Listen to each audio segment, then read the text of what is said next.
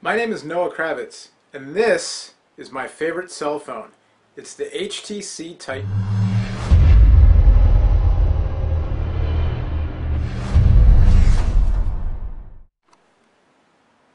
Alright, so this is the HTC Titan. Uh, this is the unlocked version. Thanks to the folks at HTC for lending me this one. Uh, there is also a version now on AT&T, a lock version in the US, $199.99 on contract. And, uh, you know, the Titan's so named for the giant display, 4.7 inches. Frankly, I never thought I would like a phone with a display this big, but I do, and I attribute that to three things. One, the operating system itself. I think Windows Phone is custom made uh, for a, a screen this big, and I would dare say that it works better Windows Phone works better on a large display than Android was, and I'll explain why in a second. And it's a matter of personal preference in a lot of ways. Uh, but basically, I think that the huge design elements here, the big tiles, the uh, if we go into one of the tiles here, we're going to me, uh, you know, the big bold typography across the top, all that kind of stuff. Uh, the spacing, I think it just really just feels nice and clean and simple and easy to easy to read, easy to view, nice to look at on a display this big. And actually, the low resolution. I've jumped right in talking about the display, but I think it's an important point. A lot of people are saying well, 4.7 inches, but it's only WVGA. It's it's 800 by 480. What's the deal? I want more pixels on the screen. I want higher density. You know, Android, we've got HD displays now 1280 by 720 that aren't even quite this large. And so Windows Phone sucks. I'm going to go the other way, and I'm going to say because of the way the UI is designed, because of the uh, you know the the boldness of the UI and um, was it go back to people here? The boldness of the UI, the way things are spaced out, the big typography, the beautiful fonts. Uh, I think it really works well on this display, and the low resolution, generally speaking, is not an issue for me at all. Uh, second thing about this phone that makes me really like it is the thinness, 9.9 millimeters thick. It's not the absolute thinnest phone out there, but it's thin enough that it offsets how big the display is, doesn't make it feel so big and clunky. And then the third thing is just the build quality. A uh, little tiny bit of a creak in here just because of the way that the phone sits in the aluminum shell, but in general this thing is built it's just it's solid. It feels luxurious. It feels classy. The aluminum unibody construction is great. The quality of the super lcd panel is top notch. You know extreme viewing angles on this thing. Um, the, uh, the blacks are deep black, the whites are nice and uniform. If we switch here to, uh, I think Windows Phone works really well with the dark background, but if we switch the theme, we go to the light background, you can see the whites are nice and white, and the phone, you know, it, it still, the screen still looks great with the light background.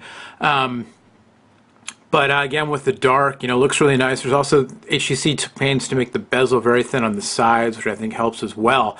Uh, so all those things combined, the quality of the build and the design elements, uh, you know, have made me sort of honestly, when I've tried 4.5 inch and larger, even 4.3 inch displays and larger on Android phones, kind of felt like there's just there's everything's just smaller and there's a lot of clutter and yeah, I can stuff a bunch of widgets onto the home pages, but I don't know. I, I kind of want, you know, I'm kind of in a less is more phase, I guess. And um, so having a less is more operating system just kind of suits me right now.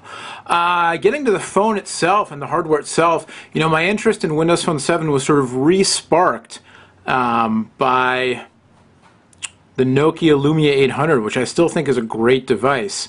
Um, but using that, and then using the Samsung Focus S, also out on AT&T now, we'll do a separate review of this one. 4.3 inch display, also a very nice phone, super lightweight, plastic. Uh, using that phone, and then using the Titan, you know, really resparked my interest in Windows Phone 7 Mango. One of the things about the Lumia that I did not like was no front-facing camera, because I, for one, do use uh, video chat, and I use the front camera sometimes. You know, I like to. I mean, look at my look at my lock screen. It's a picture of myself. So you can tell, you know, I'm vain. I want the front camera. So HTC's got the front camera, 1.3 megapixels. On the back, they've got an 8 megapixel camera, autofocus, dual flash, 720p video capture.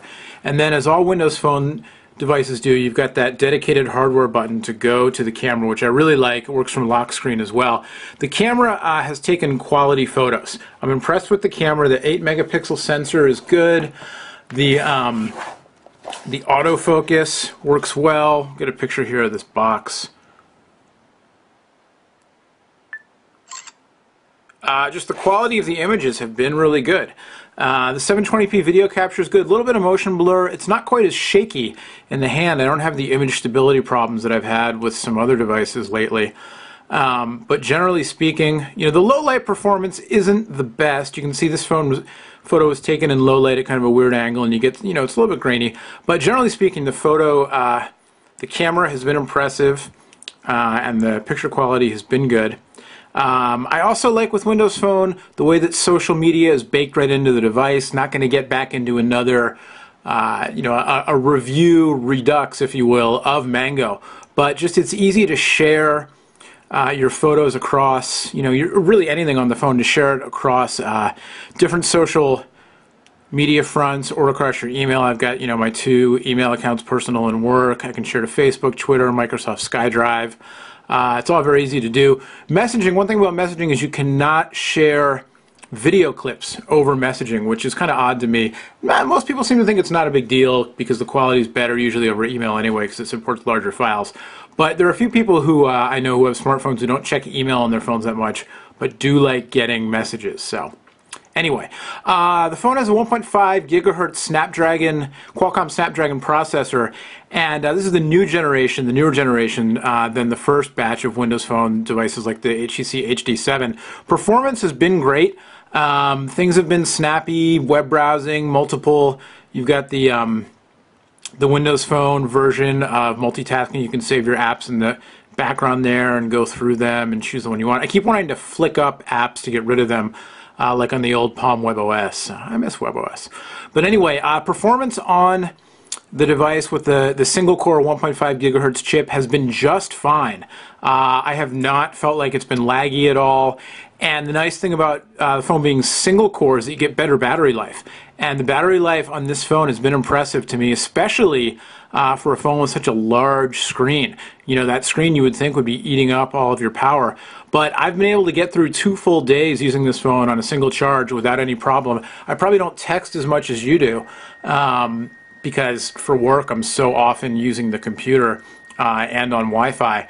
But, you know, steady use throughout the day, a couple of long phone calls, web browsing, lots of picture taking, you know, and then when the workday is over, uh, using it a fair amount in the evening for, you know, everything. And um, I got through two days and noticed I had about 27% charge left, I think it was, when I went to sleep. So, um, you know, definitely impressed with the battery uh, for sure.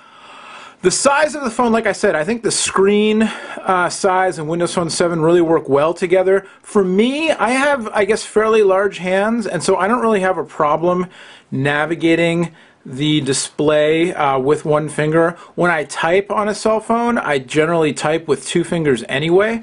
So I'll do something, uh, I like to type in widescreen mode, so I'll turn the phone this way and then, um, you know, type like this. So for me, the size of the device hasn't been an issue in terms of navigating um, the display. I know for some people it will be, and that's why you've got, you know, that's why 4.7 is an is an enormous uh, enormous size device. But it, has been much easier to use than I thought it would, being this big. Uh, and again, I don't know, something about Windows Phone uh, and the larger screen just really are working for me. So this phone has been my daily driver. Uh, I really, really like it. There are some things about Windows Phone I'd like to see changed. I would love to see this phone come in uh, cyan, like the Lumia 800 does. If this thing had a cyan blue polycarbonate um, shell, that would be awesome. As it is, you know, the bare black is, uh, you know, it's not offensive. It's not. Uh, it, it doesn't say anything to me in terms of um, looking awesome, but it certainly isn't a detractor. Uh, you take the shell off here, and um, you know you've got the unibody construction and everything. Uh, big battery, plenty of life.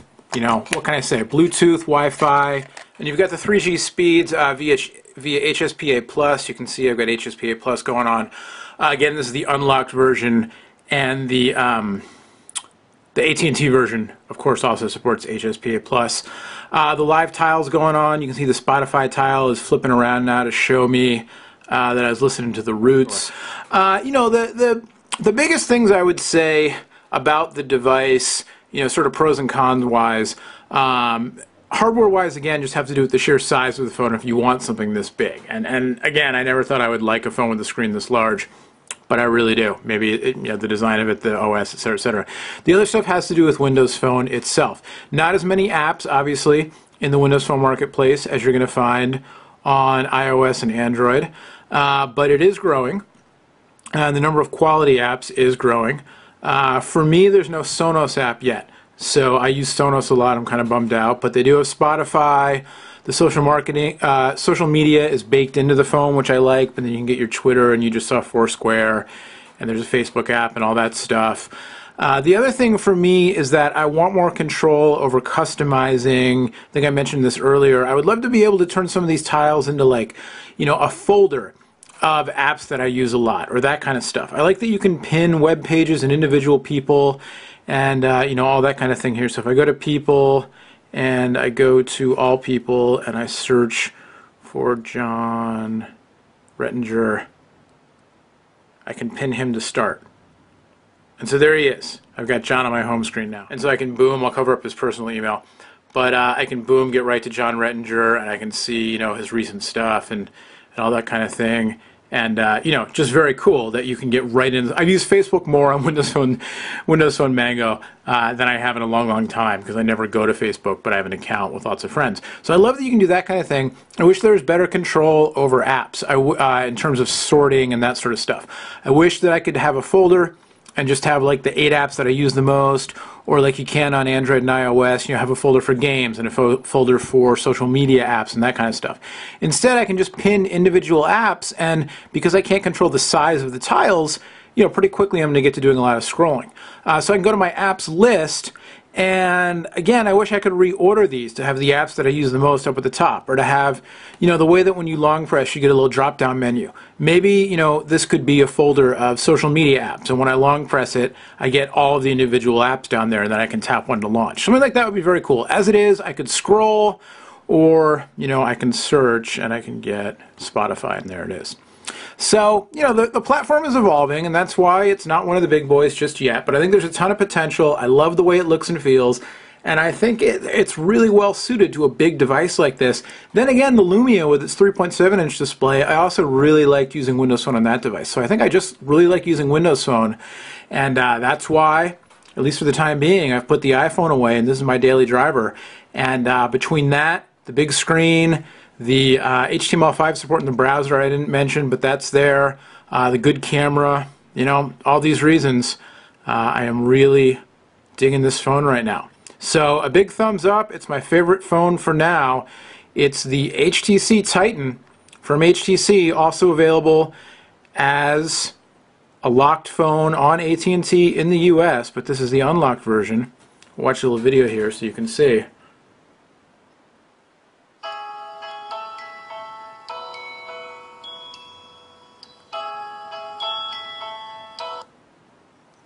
It's good stuff. I'm digging it. Thanks again to the folks at HTC for lending me this one. We'll have much, much more on all of the uh, all of the new Windows Phone devices coming out. Speaking of Lumia, Nokia, and T-Mobile, just uh, announced an event New York City, December 14th. I'm imagining they're going to launch a Windows Phone device of some sort, perhaps the Lumia 800. Whatever is announced there, we'll bring it to you. And then CES 2012 right around the corner. All kinds of stuff coming at CES, I'm sure, and we will be there in full force to bring it to you as well. Until next time, my name is Noah. Thanks for watching.